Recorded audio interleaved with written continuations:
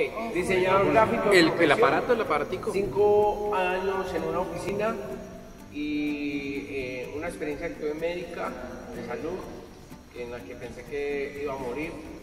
Eh, hice, un, pensamiento de que, que era lo mejor que había hecho en mi vida, porque ya estaba, estoy a punto de morir, me dio un preinfarto, una amigdalitis mal cuidada y estar andando en moto con amigdalitis mal cuidadas, eh, la infección me bajó al miocardio y estuve 15 días en cuidados intensivos, conectado, y ya había hecho un primer viaje mochilero en el 2011, eh, a principios de enero a junio, mochilero, en el cual viaje hasta Ushuaia, volví a subir, y este, este percance lo tuve en noviembre del mismo año. Y prácticamente yo pensé que iba a morir. Y de las cosas que pensé es que dije, valió la pena haber vivido porque hice, acabo de hacer algo que valió la pena. Entonces eh, me prometí que si salía de esa iba a seguir viajando. Eh, después de salir de esa, afortunadamente, eh, seguí viajando de manera intermitente como mochilero. Luego, hace tres años, bueno, hace cuatro años renuncio a mi trabajo en la oficina y hace tres años empecé a viajar en moto. Pensé que conocía hasta que empecé a viajar en moto. Una experiencia totalmente diferente, una experiencia en algunos sentidos de mochilero a motoviajero, en algunos sentidos mucho más cómodo, más fácil de viajar, pero también con mayores responsabilidades. También, eh, digamos que psicológicamente para mí fue muy difícil acostumbrarme a saber que está viajado acompañado de una motocicleta, que, que es una responsabilidad ante todos los países. Cada vez que uno entra, pues tiene el compromiso de sacarla, de manejarla bien, de ser responsable, de cumplir con todos los requisitos. Y, eso me costó mucho, porque a mochilero yo sabía que pasaba la tarjeta de crédito y al otro día estaba en mi casa. Con la moto no, con la moto me tocaba deshacer, deshacer todos los kilómetros para poder volver a casa. Entonces, eh, todo un aprendizaje estos tres años.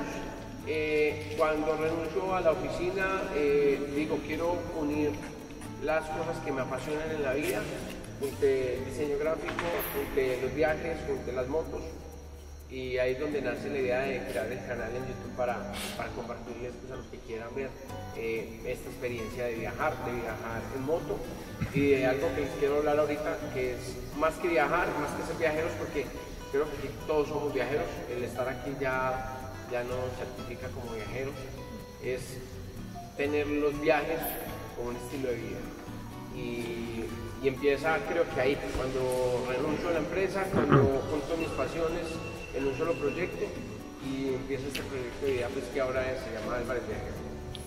Empiezo a viajar en moto entonces, antes de viajar en moto viajé por Sudamérica unas tres veces de mochilero, eh, subí a México, hasta Ciudad de México subí de mochilero, también estuve allá, volví, ya ahora de motoviajero repetí, me hice otra vez Sudamérica, pero en la moto, por eso les digo que como que yo creía que, conocía, pero ya poder eh, viajar y, y saber cómo fue esa transición kilómetro a kilómetro de los paisajes, de la cultura, de las costumbres, eh, de los sabores, de los idiomas, todo, eh, ha sido muy, muy especial, muy diferente. Ahora, bueno, hice Sudamérica, ahora viajé, bueno, una de las cosas que de pronto muchos no saben es que yo viajo una Pulsar 200 NS, eh, en esa hice Sudamérica, en esa en este momento voy en México, la dejé en Ciudad de México, eh, hoy hace ocho días llegué aquí a la ciudad. Eh, esta que tengo acá, eh, viajo en el país con ella, he ido a Perú en esta, es otra experiencia de viaje, es otra experiencia poder viajar con la moto pues, eh, realmente hecha para este tipo de aventura. La Pulsar no, no está hecha para este tipo de aventura, pero con ciertos cuidados y con ciertos hábitos de conducción eh, se, logra, se logra llegar a donde ustedes quieren. Eh, entonces, esa ha sido como mi experiencia de viaje hasta ahora, para que más o menos ya van, van mirando qué preguntas tienen, que ya sé que muchos tienen. Y, como les decía ahora, más que hablar de, este tema de ser motoviajero, porque yo sé que ustedes de aquí muchos han rodado, nosotros no somos ni los primeros, ni los mejores, ni los únicos. Simplemente somos los que quizás eh, recientemente hemos, hecho viajes largos y en mi caso que estoy compartiendo pues como en redes sociales el día a día del viaje, porque eso se trata el canal en YouTube. de irles compartiendo el día a día, que ustedes vean cómo es esa transición desde casa hasta un lugar muy lejano, en cuestiones de cultura, en cuestiones económicas, de comidas, de dormidas, de precios, trámites, fronteras, y yo tratando de enseñarles para que los que vengan detrás pues salgan con un poquito más de luz eh, y no tan a ciegas como en algún momento salí yo. Como por ejemplo el caso de Daniel. El caso de Daniel yo simplemente salía hasta Turbo y en Turbo ya miré qué pasaba, qué lograba conseguir porque no hay información, porque no hay una empresa que haga ese, cruce y que se dedique solamente a eso, no hay una persona que brinde asesorías.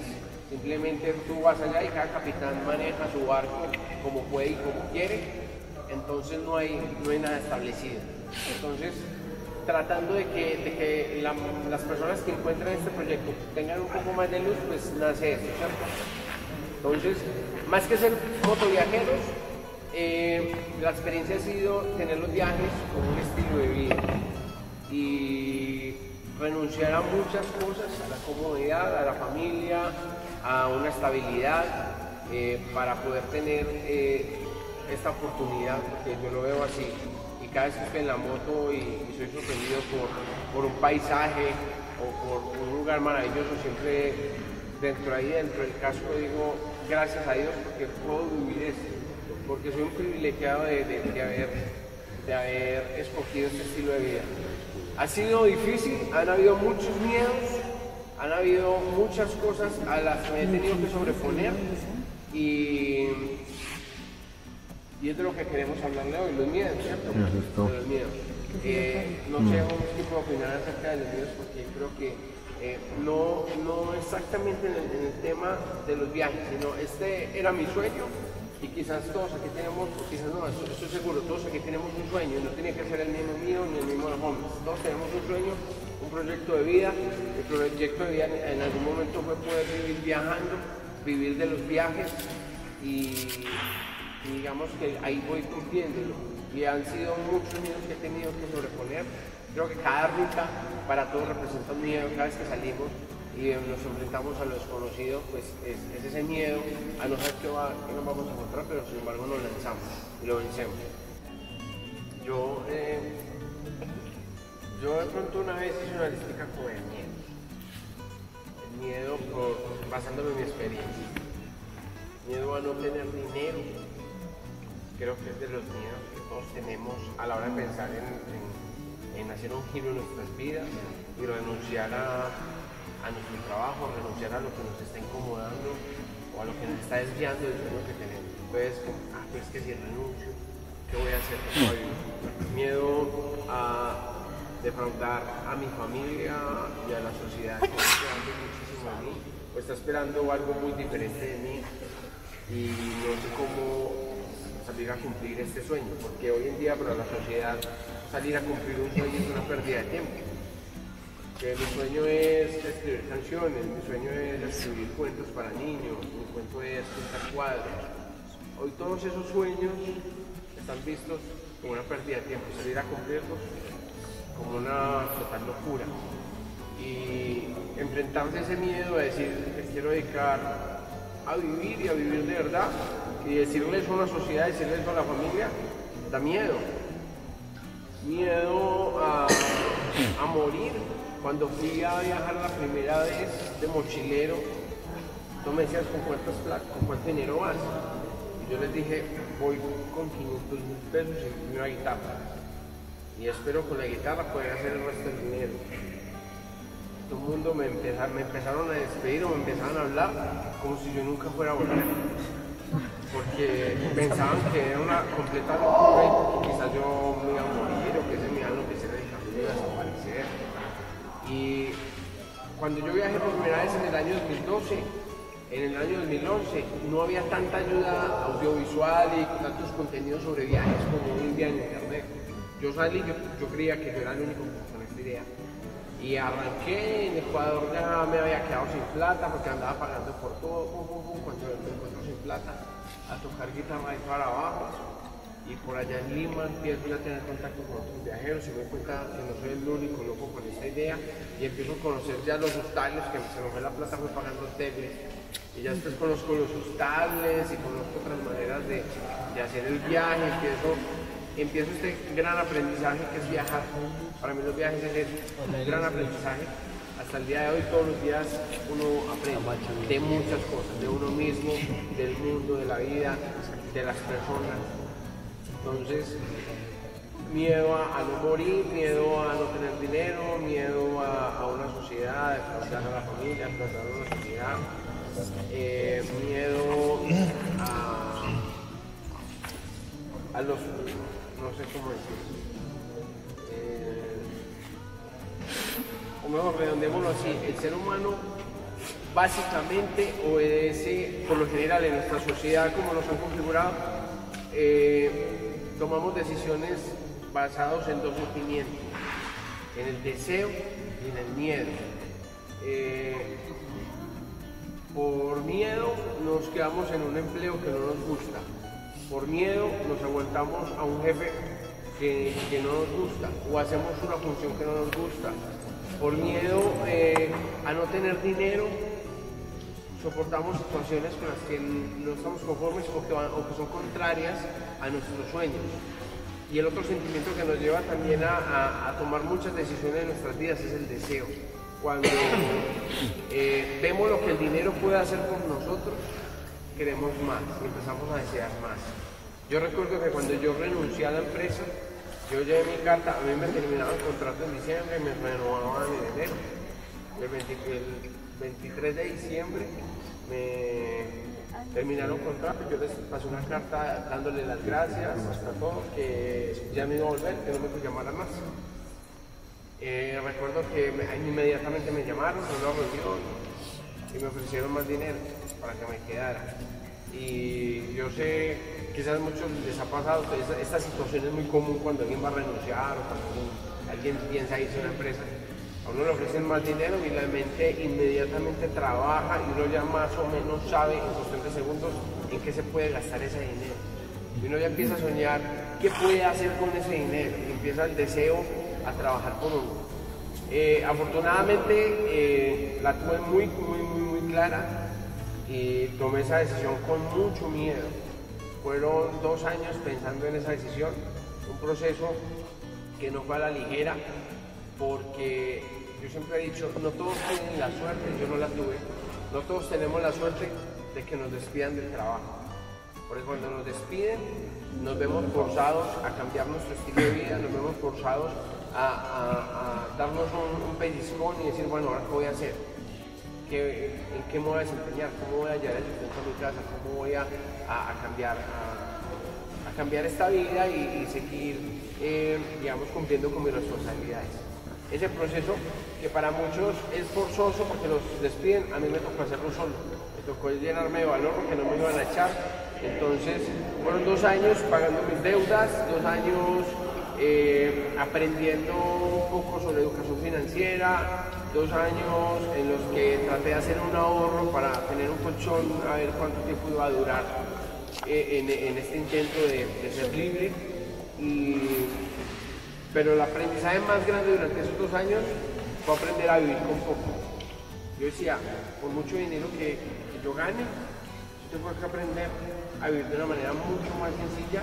Ya había tenido la experiencia de vivir con lo que cabía en una mochila y me había dado cuenta que lo esencial cabe en un bolso. El resto son cosas que, son lujos y son chéveres y si las podemos tener pues bien, pero no son indispensables y no deben de ser indispensables para nuestra existencia. Entonces, eh, empieza todo ese aprendizaje y por fin a los dos años puedo dar ese paso, vencer ese miedo y cuando estoy al otro lado estoy como un recién nacido porque yo renuncio al otro día ya no sé qué hacer. Toda la vida me la pasé trabajando, criado por empleados, hijo de empleados, eh, educado por empleados, era un empleado innato en mi mente y ahora era un desempleado que quería emprender, que quería hacerse mi vida otra cosa, pero no tenía ni idea. Toda la vida había jugado fútbol, pero ahora me quería dedicar a jugar otro deporte. Entonces, es totalmente desde cero. Es un proceso que para mí fue muy, muy, muy difícil. Al año de haber renunciado, por fin logro eh, equipar mi moto y, salir a la ruta. y ahí es donde empieza creo que el verdadero viaje eh, de mi vida, salir, salir sin dinero, hacer lo que hago aquí, a ese pellizcón que tengo que hacerme aquí, porque me quedé sin trabajo, a ir a hacerlo en cada lugar al que voy. Es donde empieza este, el cumplimiento de este sueño y, y, ese paso hacia, hacia el otro lado de la línea de nieve. Ya cuando uno da ese paso y está al otro lado y lo hizo, ya uno ve que le tenía miedo a muchas cosas que quizás no eran tan importantes. No sé si te pasó muchas veces que te hablaban de rutas súper miedosas, que el cañón del pato, que no sé qué, la muerte, y bueno, todos esos nombres así súper siniestros para meter miedo. Pero cuando la haces, dices, bueno, si lo pude hacer yo, yo no soy un gran montero, yo, yo pagaba aquí por todo, yo, yo digo, si yo lo he podido hacer, ¿cómo lo pueden hacer?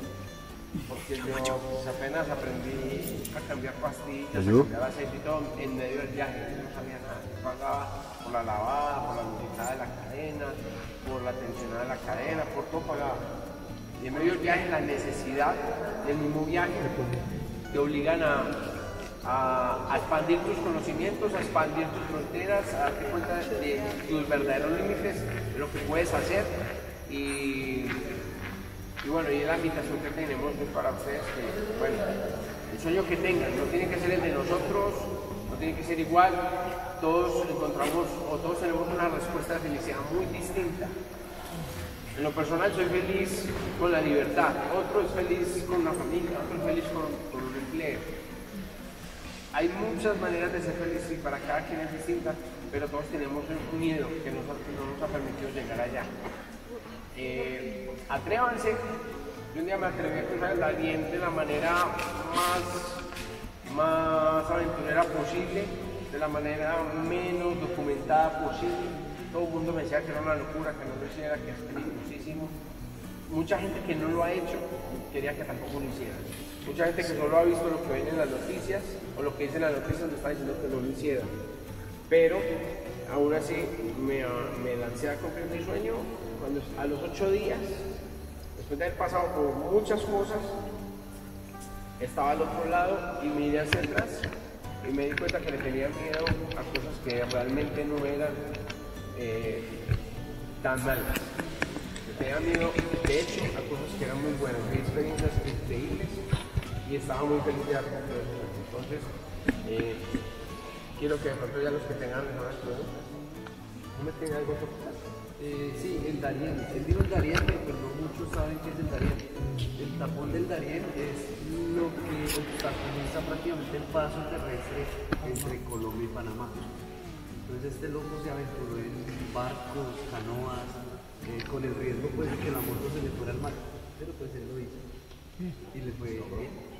Fue duro. Y ya está en YouTube, para quien lo quiera ver, está el día a día con todo. Porque muchas veces uno deja pasar las oportunidades. Muchas veces uno tiene la oportunidad de hacer algo que nunca ha hecho y un miedo o cualquier otra cosa o esperando, O esperando el momento ideal. A veces esperamos el momento ideal, tener la moto ideal, el traje ideal, las máquinas ideales, el tiempo ideal, el, saldo en la cuenta ideal y esperando el momento ideal se nos pasa el tiempo. Entonces, la plata en la con lo que tengan. Yo siempre he dicho, a veces lo que tenemos en nuestras manos es suficiente para cumplir el sueño, solo que a veces no, no lo vemos. Yo me arriesgué, la pulsar esa tenía más mala fama que todo el mundo me hablaba mal de ella. Yo, me arriesgué y dije, bueno, puede ser muy todo, pero está en todos los países, todos los países la pueden arreglar, entonces no, tiene ella, era lo que tenía en el momento, no tenía esta, esta llegó después, y la equipé, y arranqué. Y y me amañé, le cogí hasta cariño a Motico, me Entonces, es cuestión de ganas a lo que tenemos, no es lo que tenemos, sino lo que hacemos con lo que tenemos. Eh, yo escuché una frase, no la comparto al 100, pero creo que sí, hay algo rescatable ahí. Escuché una vez que el viaje comienza, cuando se te acaba el dinero, empieza el viaje. Yo aprendí eh, que todos los viajes son válidos, todos que viaja en cinco estrellas, el que viaja en avión, en primera clase, o el que viaja en bici, el que viaja a pie, el que viaja rápido, el que viaja lento, porque hay unos que viajan, a otros como a mí nos gusta ir muy lento, ir conociendo, disfrutando los lugares, comer, probar, hablar con la gente. Pero todos los viajes son, experiencias únicas, irrepetibles. Así la gente haga el mismo viaje que yo comparto en YouTube, van a vivir cosas diferentes. Entonces, eh, yo no digo que el viaje empieza cuando se acaba el dinero, pero sí empieza un gran aprendizaje. Cuando se acaba el dinero,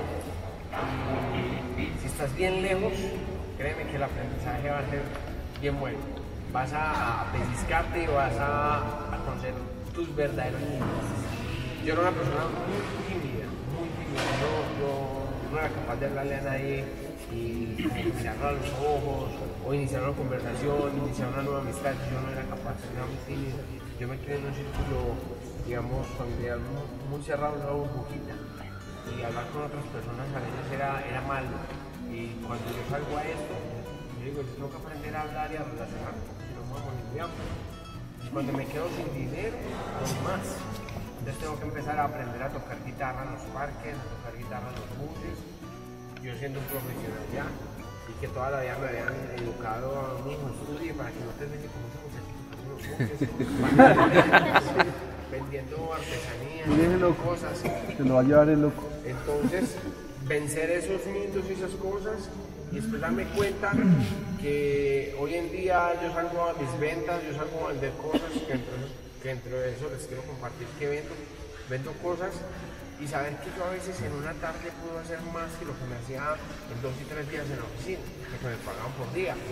Yo digo, uno estudia, ahí aprendí que uno estudia por pasión, porque ama hacer algo.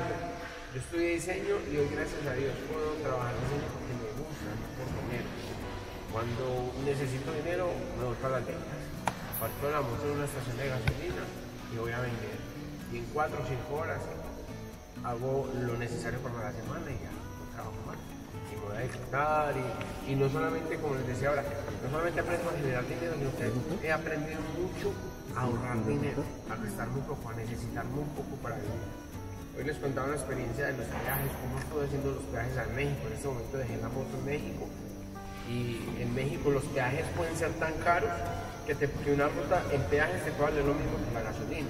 Te puedes gastar la misma plata en gasolina que en peaje. Y bueno, hablando de lo que consume una, una pulsa, ¿cierto? Eh, yo decía, no, estoy gastando prácticamente el doble por cuenta porque estoy pagando peajes. Entonces empecé a, a parar antes del peaje a llegar caminando a la caseta y decir, hola, muy buenas tardes, mira, disculpa, vengo viajando en esta moto y el jefe se me mandó por aquí, yo no sabía que había que pagar, hay posibilidades, le pongo buena voz y saludo y todo, le pongo buena energía, hay posibilidades que pueda pasar por un ladito. Y muchos me preguntan, ¿en serio no tiene dinero? Y no, no, voy con los niños. Bueno, pasa por un ladito. Y así empieza a pasar todas las casetas. Entonces uno aprende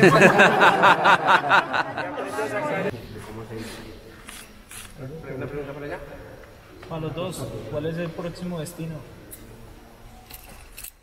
La carpa. Arreglar la moto.